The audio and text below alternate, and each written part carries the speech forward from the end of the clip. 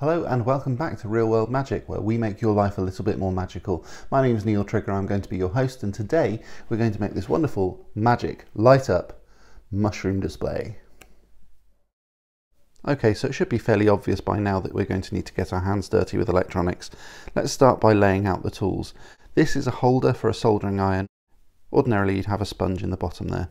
So the soldering iron goes in there like that. Let's keep it nice and safe. You're going to need some solder, now this big spool here can be decanted into there, no problem. You're also going to need a battery holder. This sort of thing would be absolutely fine, but in the video I didn't use that. I used a box like this. The benefit is that then you can switch it on and off. The battery goes in there. Go to a woodland and pick up a suitable log. So you're going to need some LEDs. These ones all come in different voltages and make sure that you use the right resistance to make sure that the LED doesn't burn out, but also that it's not too dim. For my project I used white ones sanded down a little to make sure that the light is properly diffused, and I had to use a 330 ohm resistor, which looks like this. These LEDs, admittedly this one's a red one, but I'm doing it for demonstration, come with two pins. If yours have more than that, it's not going to be covered in this video. You're also going to need some heat shrink tubing. This is for insulation. If you don't have it, you can always use insulation tape. In order to use heat shrink tubing, you're also going to need a heat gun. If you're going to use a hairdryer, you can, but it'll take a bit longer. You're also going to need some offcuts of wire. I had these from another project. This little dude is called a helping hand. It's really handy because you've got these crocodile clips that can clip things on either end. And then once you've clipped them in position, use the magnifying glass there to see what you're doing. The last things we're going to need, random I know, is a bowl of water, an ice cream scoop, and a hot glue gun. Guys, let's do it! Let's do this! Okay, so we start out by tinning the soldering iron. You use the solder to add a little bit of solder onto the tip and then you wipe it immediately off and it should go a bit shiny. You do the same to the wires, the positive and the negative, and use the positive pin here, which is the longest pin. You trim the resistor a little bit short because you don't need all that wire, and then you solder the resistor onto the positive arm, that's the longest leg of the LED. You then put a bit more wire on just to make it a bit easier and then you use heat shrink tubing like this and slide it down onto one of the pins. Doesn't really matter which one as long as they don't connect because otherwise it'll short out.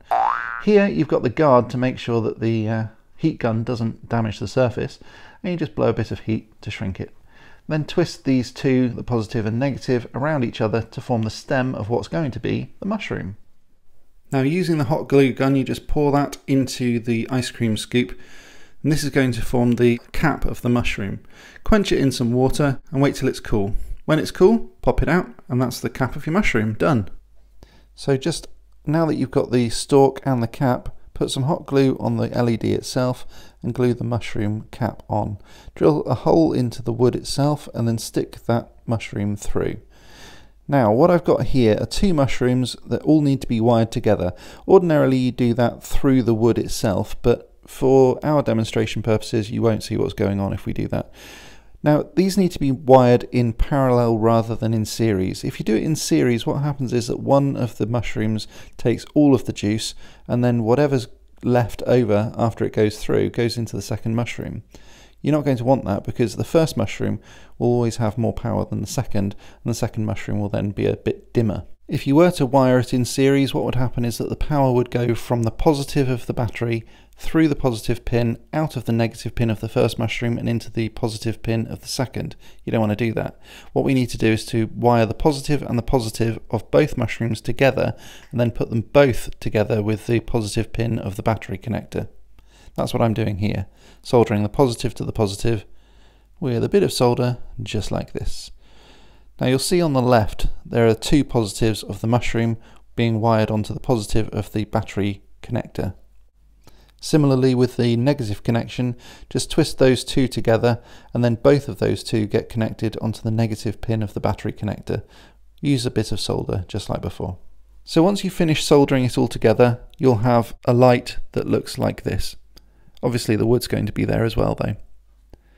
Now in order to really finish this off, you might want to paint the stems. I did with mine, and what it does is cover all of the positive and negative colouring of the wires. Now I know at the back it kind of looks a bit messy and that's fine because you're not going to see it anyway. You use some hot glue and you wire everything in parallel. This can be quite fiddly if you've got more than two mushrooms just to warn you. The battery box there is also hot glued in just to make sure it's completely stiff and all of the mushrooms have a bit of a dab of hot glue at the back too. When it's lit up it looks like this. So thanks very much for watching guys. If you'd like this video, please give it a big thumbs up. Subscribe for more of this sort of stuff. Click the bell to get notified of any new videos and I'll see you again next time.